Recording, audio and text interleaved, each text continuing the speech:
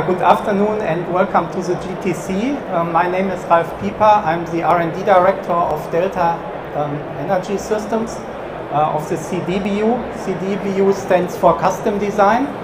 Um, I'm with Delta now for 24 years and uh, we, our group became some kind of experts during the time um, in networking, data center and server power design. So this is a sponsored presentation from Delta. So who is Delta? Delta Electronics was founded in 1971 by Bruce Cheng and our um, corporate um, mission is to provide innovative, clean and energy efficient power solution for a better or greener tomorrow. So we are the number one in uh, producing power supplies and brushless fans um, last year or in 2022 our uh, revenue was close to 13 billion. Uh, we donate more than 8% every year um, of our revenue into R&D. In the uh, time frame from 2010 to 2022 uh, we saved 21 million tons of carbon emissions by uh, steadily increasing the power, uh, yeah, the power supply efficiency. Okay, so let's look at this mega trend. So the booming um, AI growth. So here you see the chart of the uh, market size and uh, you see it will uh, grow exponential. So this is a prediction um, from now until 2032 and you see the predicted uh, market size will be 2,745 uh, billion in uh, 2032, which is actually 10 times of the value of this year of 234. When you joined the um, keynote from Jensen yesterday, so he showed the similar slide. Um, here we see the computing performance over time. So the blue curve is the general compute, the CPU, um, and we see uh, that it stagnates. So 100 years before it doubled every second year. So this was Moore's law. But uh, this seems to be uh, at the end now because yeah, the semiconductor is shrinked already to 4 to 5 nanometer processes and also the clock speeds uh, came to their maximum already. So there is no big uh, performance increase visible. But the green curve um, yesterday Jensen mentioned he make it uh, 1000 times in, in 8 years. So here I, I, put 10 years, so it's even more, more steep this climb.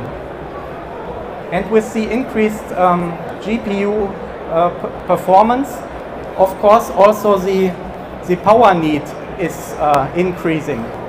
So here we see the Grace and Hopper. This is the current um, chip um, and if you combine uh, one Grace, so this is the ARM-based CPU with two of these Hopper chips, we get the uh, GH200, which uh, takes around 1,700 watt. The next generation, the Blackwell, if you use one Grace and two Blackwell chips, this will be 3,300 watt. So the power doubled for one uh, new generation of the chip how to power this um, power-hungry GPUs in the future. Here we see a single line diagram of a typical AC supplied data center like it's uh, used in every co-location all over the globe. And we see from left to right, so the left is the uh, grid with the medium voltage and on the right side uh, there is the chip voltage, uh, 0.8 volt. So in a traditional data center, it starts with the uh, big transformer, and we have a diesel generator to um, yeah, avoid grid outages. Then normally this is followed by a UPS, uninterruptible power supply. There are lithium ion batteries to uh, provide the power when the grid is not available. Um, then we will have some smaller distribution units, PDUs, and then um, the power is transferred to the server racks and uh, here we see um, AI server rack with the Open Compute uh, v3 PowerShelf. And um, due to this uh, very dynamic uh, GPUs, we see some, some disturbance on the AC line. So we see flicker problems and uh, power factor problems. So to overcome this and to offload the AC power supply, we have some kind of peak load shaving shelf. So this is the lower one where we use uh, super caps to uh, provide energy for this um, high dynamic GPUs. And then the last stage, we convert the 50 volt down to 12 and then to 0.8 volt core voltage. So um, few details to the involved components. So again, this is the UPS. Um, for example, if you do a training, so yesterday we heard this can take up to three months. And then if you have a power outage and your data would be lost, this is not nice, right? So we have this uninterruptible power supplies. So power level goes up to 2 megawatt and you can hook up 8 in parallel, so up to 16 megawatt. Then I, I told you already, um, then the the power rack uh, will follow. In the power rack, there is a bus bar, a DC bus bar, so it's quite small here.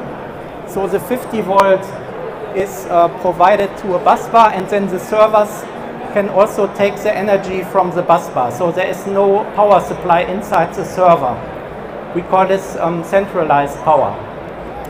And um, yeah, the conversion from AC to DC is done in our power shelf here in the middle. So we have a 3 kilo, 3000 watt, 5.5 kilowatt and 8 kilowatt unit. These uh, shelves convert the AC to the 50 volt DC.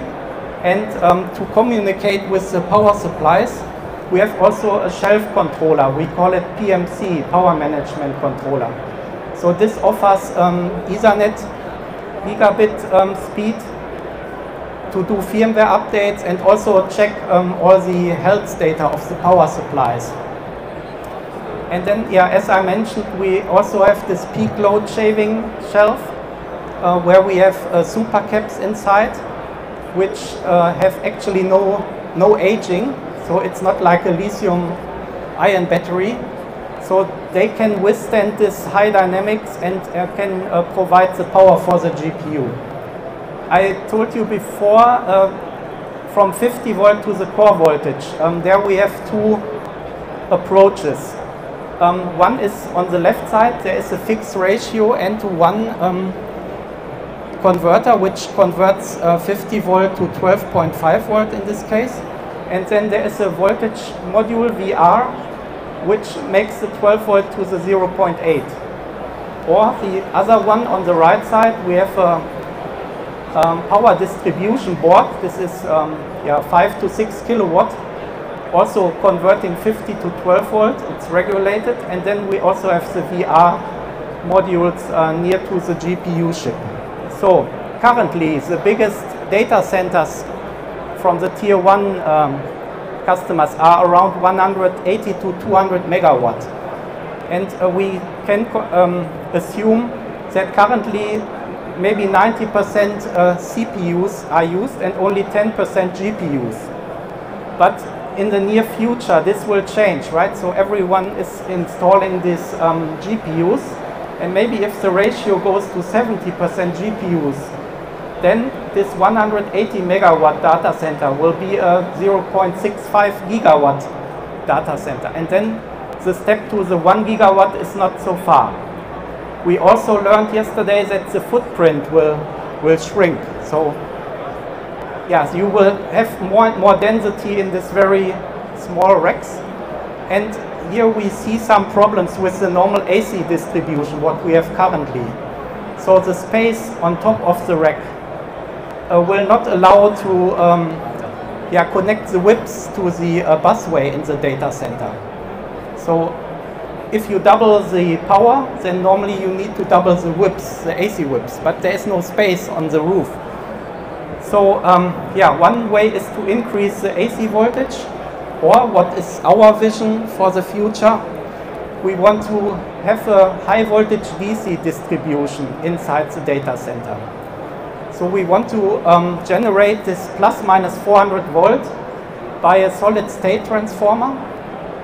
So we get rid of this big bulky um, transformer. Then we will have this 400 plus minus 400 volt um, DC bus.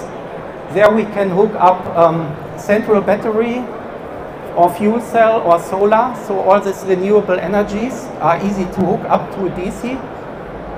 And um, then on rack level, we will have this DC-DC power supply also as a shelf. So we can convert 400 volt down to 50 in the rack and then we are, have the same voltage and the same setup like today in this AC distribution. And then the DC-DC is exactly the same like we have today. So the solid state transformer. So we are developing a modular version. So this is good for scalability, for redundancy, and also to um, adapt to the various input voltages. So from region to region, you will have different medium voltage levels, and um, our modular approach can handle this.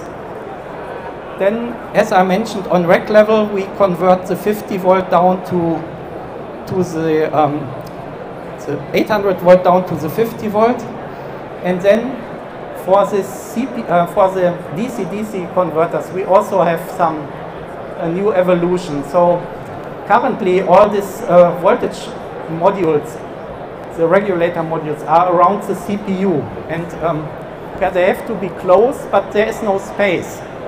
And um, our approach is to put this on on the bottom side of the of the ship. So we call this um, vertical power.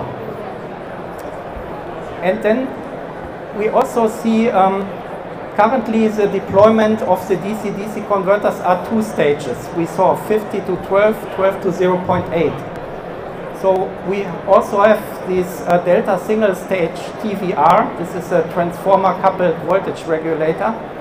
And you see the um, efficiency increase of 5% this brings me to the end of my speech. So you are welcome to visit our booth. We are in opposite of the NVIDIA um, booth, so in the center. And you can contact me via email if you need more information.